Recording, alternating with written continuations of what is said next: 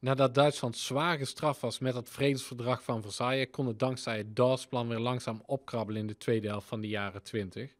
Alleen komt daar helaas ook een einde aan in 1929 en daar gaan we in deze video's naar kijken. Uh, want 1929 is namelijk het jaar van de grote beurskracht op Wall Street. En dat leidt een grote wereldwijde economische crisis in. En die economische wereldcrisis is een kenmerkend aspect uit tijdvak 9. Dus als je er meer over wil weten, kun je die video ook nog even bekijken. Maar het leidt er in ieder geval voor dat wereldwijd de handel langzamerhand stil gaat vallen. en die crisis die start in de Verenigde Staten en die wordt ook uh, behoorlijk zwaarder doorgetroffen. En de Amerikanen die gaan dus zeggen, ja, wij willen dat uh, geld dat we geleend hebben in dat Dawes-plan, Duitsland, dat willen we nu terug hebben. Jullie moeten dat gaan terugbetalen. Nou, de Duitsers moeten dat eens terug gaan betalen. Maar goed, ze hebben ook last van het feit dat die internationale handel stilvalt. En in vergelijking met andere landen wordt Duitsland dus extra hard getroffen door deze economische wereldcrisis. Ja, dat bordje wat die man hier vasthoudt, hè, ik heb honger, ik zoek werk en ik doe alles. Ja, dat geeft eigenlijk ook alweer hoe wanhopig die Duitse bevolking op dat moment is. En die economische problemen zorgen in Duitsland ook weer voor allerlei politieke problemen. Want er vinden weer heel veel regeringswisselingen plaats. Hè. De ene regering probeert het op te lossen, maar de werkloosheid neemt alleen maar toe en de crisis wordt alleen maar groter. En de volgende regering die wordt weer aangesteld. Er komen weer nieuwe verkiezingen, want deze regering weet het ook niet op te lossen. En zo gaat het maar verder. Die regering van die Republiek van Weimar, die vindt dus geen oplossing. Nou, en het gevolg daarvan is dat langzamerhand het vertrouwen in die parlementaire democratie, hè, wat, wat in die jaren na de Eerste Wereldoorlog langzamerhand was opgebouwd, en denk even terug in die tweede video, dat daar was al heel weinig vertrouwen in in het begin, dat verdwijnt nu dus weer. Nou, en antidemocratische partijen zoals bijvoorbeeld de Nationaal-Socialistische NSDAP van Hitler of de communistische KPD, die we al eerder hebben gezien, die krijgen in deze periode dus steeds meer aanhangers. Iedere keer als uh, het een, sociaal-democratische of een democratisch gekozen regering in ieder geval niet lukt om de crisis op te lossen en die dus weer af moet treden, uh, gaan er bij de volgende verkiezingen weer meer mensen stemmen op dit soort partijen. Ja, en zeker die NSDAP van Hitler, die Nationaal Socialistische Partij, die groeit echt uit tot een massapartij. En daar zijn verschillende redenen voor. Uh, ten eerste, uh, Hitler zelf als persoon.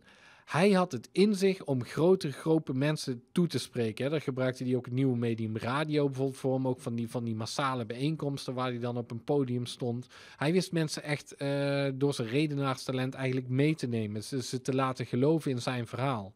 En dat verhaal werd ook kracht bijgezet door een massaal en doeltreffend gebruik van propaganda. Eigenlijk zijn die toespraken er al een voorbeeld van, maar uh, bijvoorbeeld ook posters en dergelijke. En ja, ook in het straatbeeld zag je steeds vaker uh, nationaal-socialistische groepen rondlopen. En bijvoorbeeld ook uh, de SA, de Sturmabteilung. Dat was een, ja, een soort paramilitaire, dus niet officieel ehm, bij het leger behorend, maar in ieder geval wel een soort mini-legertje, een soort knokploeg zou je kunnen zeggen van de Nationaal Socialisten. En die konden behoorlijk intimiderend zijn in die Duitse straten. Maar goed, waarom groeit die NSDAP vooral uit tot een massapartij? Dat is dus omdat uh, er maar geen oplossing komt voor de ellende van de Duitse bevolking. Voor die economische crisis, voor die toegenomen werkloosheid. En die blijft maar oplopen. En Hitler doet dan ook een aantal beloften aan de Duitse bevolking. Ten eerste zegt hij: ik maak een einde aan die economische crisis. Ik zorg voor herstel. Hitler bouwt af. Dat staat er ook. Hitler bouwt op. En um, hij belooft dus echt te investeren in die Duitse economie, in die Duitse industrie. Nou, dat is waar veel mensen natuurlijk op zitten te wachten. Ze willen werk, ze willen een inkomen. Uh, tegelijkertijd uh, belooft hij ook dat uh, Duitsland, als hij aan de leiding komt, zich niet meer hoeft te houden aan dat verdrag van Versailles. Hè, dat, dat, dat vredesverdrag waarbij Duitsland echt zwaar benadeeld werd. Hitler zegt, dat moeten we gewoon verwerpen. Hè.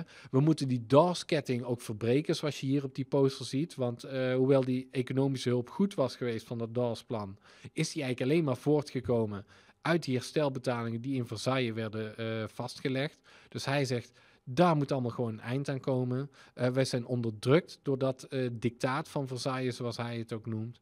En daar moeten we gewoon vanaf. Daar moeten we niet langer naar luisteren. Andere landen proberen ons klein te houden door dat verdrag. Duitsland moet weer groot worden, moet weer opbloeien.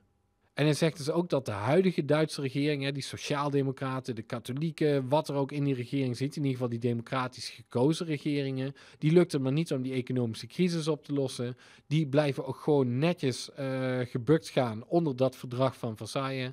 En uh, uiteindelijk brengt dat Duitsland alleen maar verder in de problemen. En daarom hebben we ook iedere keer weer nieuwe verkiezingen. En hij zegt, als je op mij stemt, als je voor de NSDAP kiest, dan beloof ik een stabiele regering door middel van gewoon heel sterk leiderschap. Ik ga ervoor zorgen door weer orde en duidelijkheid terug te brengen dat Duitsland weer een groot sterk land kan worden.